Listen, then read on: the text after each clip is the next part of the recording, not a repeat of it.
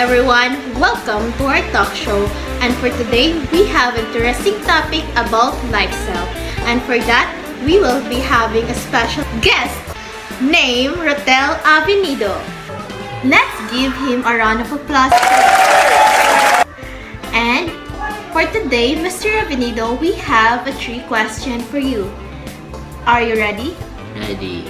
Okay. So, first question. What is exercise?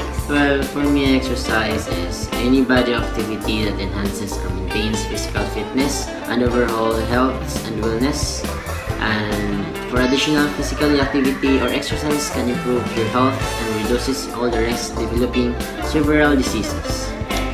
So, a very well said answer.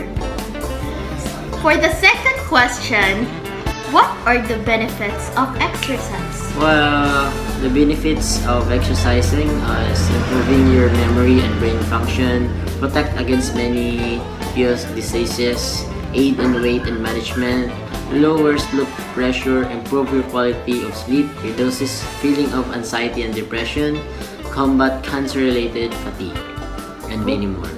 Oh, okay.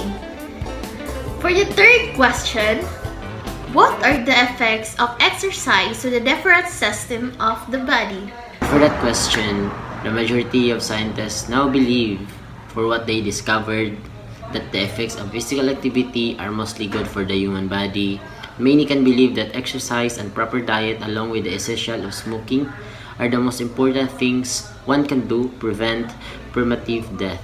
And take note, we should know the effects of physical activity are a source of endless debate among experts and scientists and lazy people alike. Thank you for your wonderful answer, Mr. Avenido. And dito na lang po magtatapos ang ating talk show. At maraming salamat sa pagpapanood. Bye-bye!